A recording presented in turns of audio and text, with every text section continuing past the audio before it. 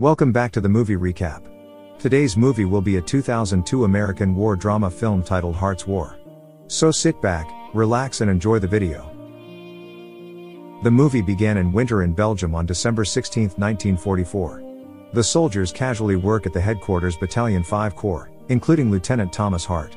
A colonel approaches Hart to ask if he can drive the captain back to the 106th, to which he agrees. However, as they make their way to the snowy trails, two military police stop them and start questioning them. Not knowing they are Germans in disguise in American military police uniforms, Hart says they are headed to St. Vith. The military police insist that they are going in the wrong direction, but Hart is sure they are going the right way. The captain in the passenger seat notices movements in the bushes. He slowly pulls out his gun when the military police beside him suddenly shoots him in the head. Hart is shocked by the sudden death of the captain and the military police, revealing themselves as Germans by speaking in their language. They check the back of Hart's vehicle, where he sees the opportunity to escape. The other German soldiers in camouflage immediately stop him and rain him with bullets, leading to his struggle to escape. As he quickly runs away from death, he suddenly hits a tree and falls off on a pile of dead bodies. After attempting to escape, the Germans still hold Hart captive. He is put in a prison that is said to be impossible to run due to its farness from the train and the thickness of the snow. A warden interrogates him, making him spill out where the fuel dumps are. Hart is one of the POWs to be transported to Augsburg, Germany. Prisoners like him are squeezed at the train like cargo. Seeing him, Lieutenant Jerry offers Hart a coat to battle the cold. But, unfortunately, the cold is too challenging to handle. After some time, they reach a station where P 51 attacks them. The POW sign on the top of their trains is covered in snow, which leads to them being mistaken for Germans. Jerry escapes through a small opening on the train with a broken arm because of his fall and successfully opens the train. Unfortunately, he is unable to survive the bullets. The POWs exit the train, and the captain assembles them to spell POW with their bodies to identify them. With his brilliant idea, the military plane stops shooting at them after reading the message. However, when the aircraft cease fire, the German soldiers commanded them to fall in line and march to their new prison for days. As the POWs reach their new prison, they are reminded by the German lieutenant not to escape. As a show, they let them watch a Russian, who attempted to escape, die through strangulation. An American POW named Colonel William McNamara salutes the three dead men, and his subordinates follow him. Oberst Werner Visser, a German colonel, notices him and calls them dogs while laughing at them. Situated at Barracks 22, McNamara debriefs Hart about who interrogated him, and Hart answers that it was Lutz. During that conversation, he has flashbacks of what he answered during the investigation. He only says to McNamara that he is asked about his name, position, and serial number but lies about divulging the fuel dump's location. Then, he is assigned to Barracks 27, where enlisted soldiers are positioned. At first, he isn't entertained by the soldiers as he enters the barracks. Still, Staff Sergeant Vic Bedford immediately salutes him when he tells them his name and position. Every night, the barracks are closed from the outside so no one can escape. So as Hart goes to the bathroom, Bedford follows him and goes to one of the toilets to get out of the barracks to give him a pair of winter boots the following day. Later that day at the theater, McNamara joins Hart and tells him to let two lieutenants be based in his barracks. They are named Second Lieutenants Lamar Archer and Lincoln Scott. As he returns to the barracks with the two soldiers of color, confusion and disgust are visible on their faces. One soldier asks why it has to be in their place that these two men have to stay.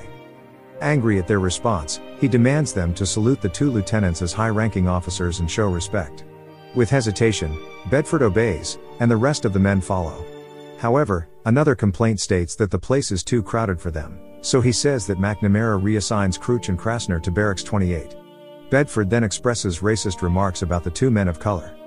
That night, he sees Bedford planning something under Archer's bed, but he chooses to ignore what he witnessed and pretends to sleep. The following day, the men are playing ball when a cargo of bread passes by, and Bedford throws it on the other side of the wired fence for the other prisoners.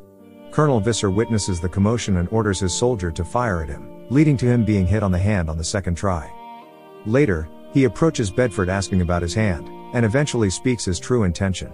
It is brought up to him by Major Clary that Bedford complains about the two colored men who are sharing a room with them. Bedford says he experiences colored men acting like their neighbors when they are not.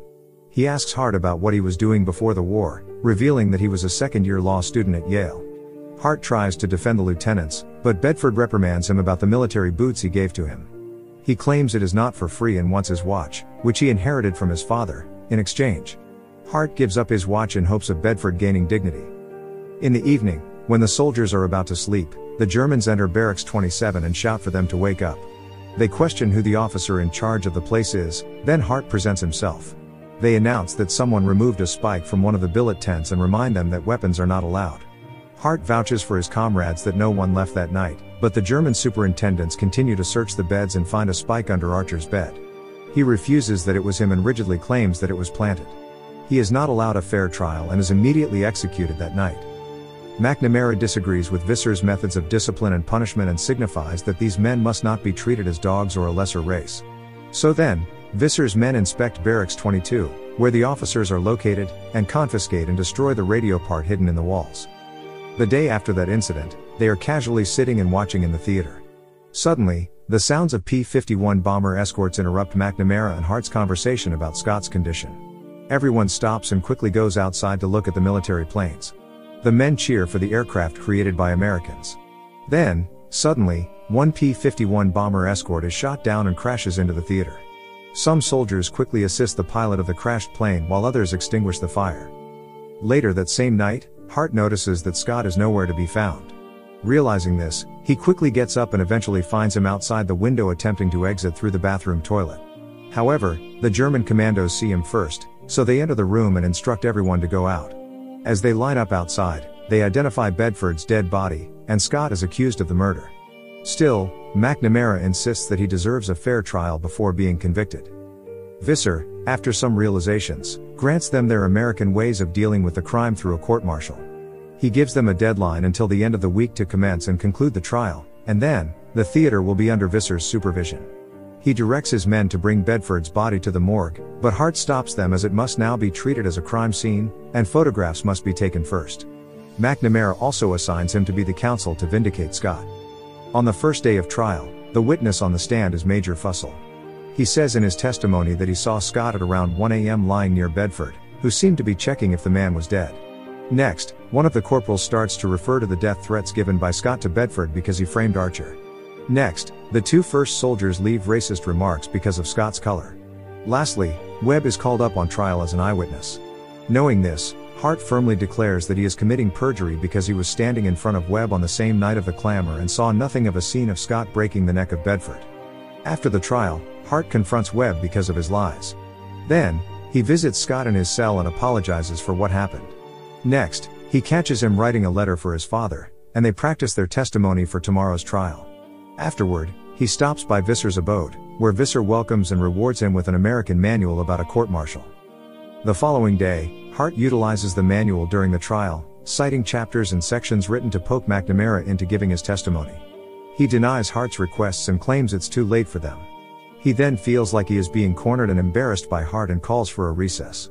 As they exit the theater, McNamara suddenly gives him a scolding and threatens not to receive anything from Visser again. On the third trial, Hart stands up for Scott by referencing the photographs. In Defense Exhibit 1, Bedford's hands and cheeks are covered in soot, claiming that whoever murdered Bedford is white. He even demonstrates how Bedford is possibly killed, through strangulation. Because he struggled to survive, Bedford used his hands to defend himself, touching the painted face of the killer. He argues that Scott will not make his face any blacker, so the killer is a white man who painted themselves with soot to avoid being detected by the guards. However, the prosecutor, Captain Sisk, contradicts the statement by asking where Scott escaped. He answers that he went through the toilet, where there is possibly soot, according to the prosecutor. On the fourth trial, Hart summons Visser as the last witness. He interrogates his relationship with Bedford but says his subordinates know him more. He inquires about the possible trading that Bedford made with the wardens Wirtz and Fussell in exchange for information and stuff. It seems to Visser that he is implying that his guards are the ones who murdered Archer. However, he says that if they wish to do so, they don't need to cover their faces with soot, unlike what he said in his argument on the third trial. On that evening, Hart watches one of the soldiers leave the barracks. He follows the man and escapes through the bathroom while hiding from the patrolling German soldiers. He perceives the man is making his way to the theater. He silently enters and hides from the two men leaving the place. He infiltrates the back room of the theater. He encounters Webb sealing something on the floor, so he immediately orders him to move. He removes the barricade and uncovers the wooden floor, unraveling a tunnel there. He goes down and is surprised to discover two more soldiers, German uniforms, and explosives. The situation is then explained to him that the trial is nothing but a distraction for the 35 officers to break through the tunnel tomorrow afternoon. The tunnel leads to the northern part of the prison, where they plan to bomb it. He realizes that McNamara will answer the questions he has. He then confronts the colonel in his barrack that night and confesses that he knew about the tunnel. McNamara says that he killed Bedford because he sold out the plans of his comrades to the Germans, just like how they were informed about the hidden radio part. He adds that he has to make sacrifices so that more soldiers will escape and survive. Hart then argues that he is the one who must sacrifice himself and not Scott. The following day, McNamara acts as if he is food poisoned. Still, they continue the last day of prosecution. He shows that he is not feeling well and has difficulty standing up. He falls to his knees, and the soldiers assist him out of the trial room to rest. Hart knows it was all a performance to make their escape plan successful, so he invites Scott to talk privately to disclose the colonel's objectives. Scott is confused and upset at the same time, making him feel like it was all a game despite two soldiers being dead.